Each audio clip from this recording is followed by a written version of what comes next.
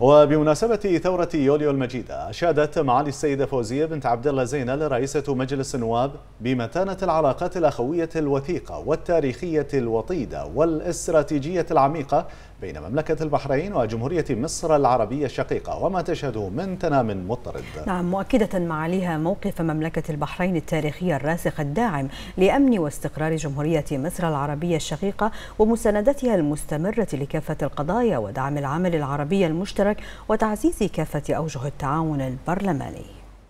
بداية نهنئ الشعب المصري الشقيق وقيادته الحكيمة بهذه المناسبة المجيدة ذكرى الثالثة والعشرين من يوليو المجيد. أعاده الله على جمهورية مصر العربية الشقيقة وهي في مزيد من التقدم والنماء والازدهار. ولا شك إن مناسبات مصر تحتل مكانة لدى مملكة البحرين والبحرينيين. وتجعلنا نستحضر متانة العلاقات الاستراتيجية العميقة بين مملكة البحرين وجمهورية مصر العربية الشقيقة وما تشهده من تنام مضطرد بفضل العلاقة الأخوية الرفيعة التي تجمع حضرة صاحب الجلالة الملك حمد بن عيسى آل خليفة عاهل البلاد المعظم حفظه الله ورعاه وأخاه فخامة الرئيس عبد الفتاح السيسي.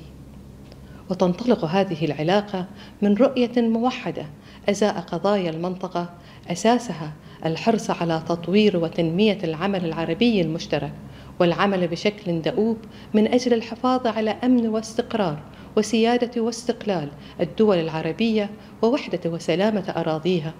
وعلى صعيد العلاقات البرلمانية الثنائية فهي تشهد تطورا كبيرا خاصة مع ما لدينا من تواصل مستمر مع مجلس النواب المصري برئاسة معالي المستشار الدكتور حنفي جبالي وتنسيق مشترك في مختلف المواقف والقرارات والقضايا في المحافل البرلمانية والإقليمية والدولية. وإن ذلك كله يكشف حجم ومتانة الروابط الوثيقة والاستثنائية للعلاقات المصرية البحرينية التي تعد نموذجا يحتذى به فيما يجب أن تكون عليه العلاقات العربية. فعلاقاتنا ضاربة جذورها منذ القدم وتتنامى حاضرا لتزداد رسوخا في المستقبل.